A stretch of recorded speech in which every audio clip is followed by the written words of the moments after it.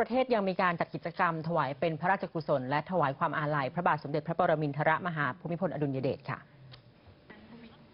ที่จังหวัดสกลนครนะคะข้าราชการและประชาชนทุกภาคส่วน ร่วมปล่อยพันธุ์ปลาตะเพียนทองจำนวน 5 0 0แสนตัว ลงสู่แหล่งน้ำหนองหานเพื่อถวายเป็นพระราชกุศล พร้อมทั้งร่วมร้องเพลงสรรเสริญพระบารมี และยืนสงบนิ่งเป็นเวลา 99 วินาที เพื่อน้อมถวายความอาลัย พระบาทสมเด็จพระปรมินทรมหาภูมิพลอดุลยเดช ขณะที่ความตั้งใจของประชาชนที่จะเดินเท้าเข้ากรุงเทพมหานคร เพื่อถวายสักการะพระบรมศพยังมีต่อเนื่องเช่นเดียวกันค่ะ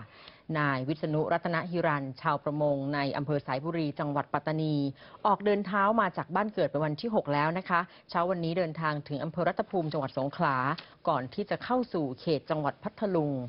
เจ้าตัวยืนยันค่ะว่ามีกำลังใจดีไม่ท้อถอยเด็ดขาด คาดว่าจะใช้เวลาเดินประมาณเดือนกว่าๆ ซึ่งก่อนหน้านี้เคยเดินเท้าไปถวายพระพรที่โรงพยาบาลสิริราช เมื่อเดือนกันยายนปีที่แล้ว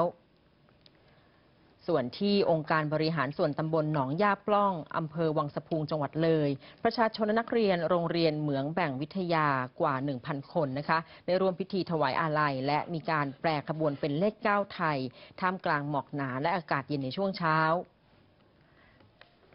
ไปดูกันที่จังหวัดนครพนม ข้าราชการครู บุคลากรทางการศึกษาและนักเรียน ในสังกัดเขตพื้นที่การศึกษา มัธยมศึกษาเขต 22 กว่า 2,000 คน